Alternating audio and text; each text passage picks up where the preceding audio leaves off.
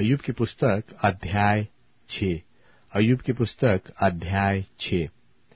फिर अयुब ने कहा, भला होता कि मेरा खेद तौला जाता और मेरी सारी विपत्ति तुला में धरी जाती, क्योंकि वह समुद्र की बालू से भी भारी ठहरती।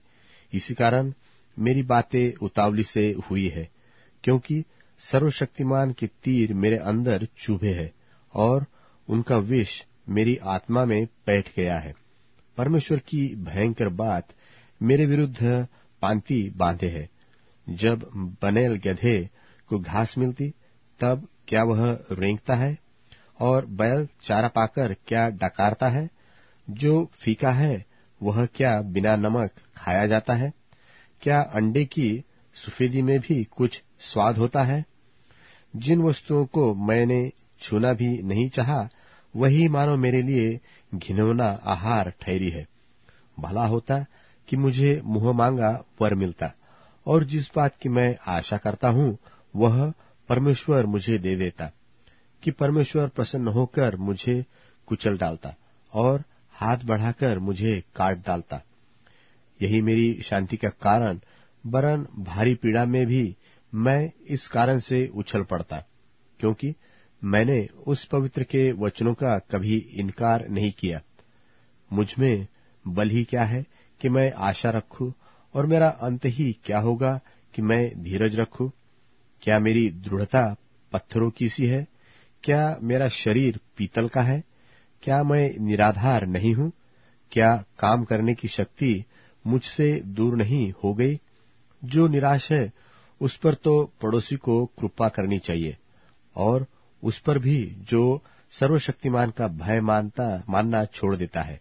मेरे भाई, नाले के समान विश्वासघाती हो गए हैं, वरन उन नालों के समान जिनकी धार सूख जाती है, और वे बर्फ़ के कारण काले से हो जाते हैं, और उनमें हिम छिपा रहता है।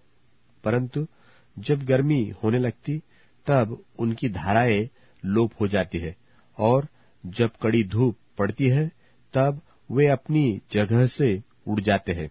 वे घूमते घूमते सूख जाती और सुनसान स्थान में बहकर नाश होती है। तेमा के बंजारे देखते रहे और शबा के काफिले वालों ने उनका रास्ता देखा। वे लज्जित हुए क्योंकि उन्होंने भरोसा रखा था और वहाँ पहुंचकर उनके मुख सूख गए। उसी प्रकार अब तुम भी कुछ न रहे। मेरी विपत्ति देखकर तुम डर गए हो। क्या मैंने तुमसे कहा था कि मुझे कुछ दो? व अपनी संपत्ति में से मेरे लिए घूस दो। व मुझे सताने वालों के हाथ से बचाओ।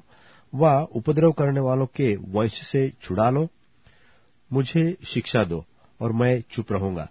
और मुझे समझाओ कि मैंने किस बात में चूक की है।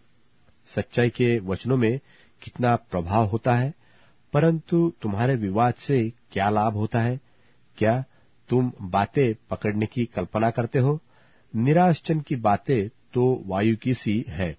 तुम अनाथों पर चिट्ठी डालते और अपने मित्र को बेचकर लाभ उठाने वाले हो। इसलिए अब कृपा करके मुझे देखो। निश्चय मैं तुम्हारे सामने कदापि झूठ न बोलूँगा। फिर कुछ अन्याय न होने पाए। फिर इस मुकदमे में मेरा धर्म जो का त्यो बना रहे, मैं सत पर हूँ। क्या मेरे वचनों में कुछ कुटिलता है? क्या मैं दुष्टता नहीं पहचानता?